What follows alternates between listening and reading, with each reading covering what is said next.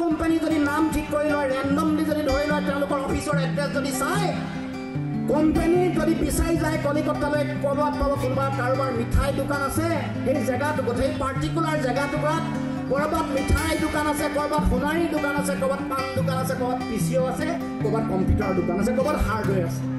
এই অৱস্থা। কাৰাপশ্যন দুৰ্নীতি কোনটো স্তৰলৈকে চলিছে ইয়াৰ পৰাই সহজে অনুভৱ তেওঁলোকে ইনভেষ্টমেণ্ট কৰাৰ পিছত তাৰ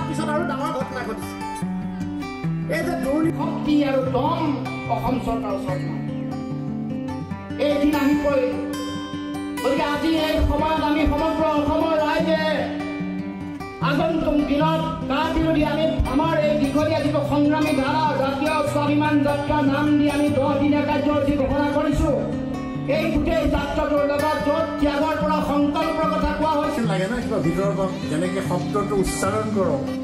লাহেকে ধুমুহা বুলি ক'লে তেনেকুৱা এটা নালাগে? ধুমুহা আহিব। কি ধুমুহা আহিব? পৰিৱৰ্তন কোনে আনিব? এ জে পিৰ নিচিনা পাৰ্টীয়ে। তেওঁলোক এওঁলোকক তোমাক পোৱা নাই। তেনেকুৱা। এই একেটা কথা কৈ থাকে আৰু মানে এম এল এ হ'ব খোজে এম পি হ'ব খোজে।